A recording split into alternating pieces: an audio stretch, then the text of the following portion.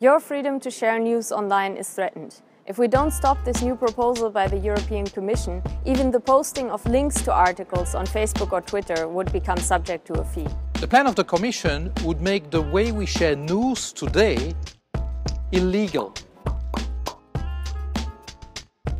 This plan would restrict the freedom of expression on internet. It would break the internet as we know it.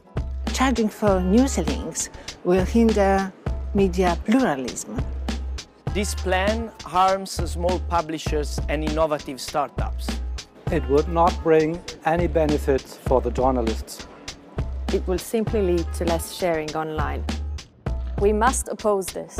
Vice President of the European Parliament. Co-chair of the Green Group in the European Parliament. I'm a Conservative MEP. I'm a Liberal. I'm a Social Democrat. I represent the European Pirate Party. I'm a member of the Five Star Movement. I'm from the German Left Party. A liberal conservative from Poland. And I'm from Estonia. From the UK. I'm Italian. From the Netherlands. I support the freedom to link. And I support the freedom to link.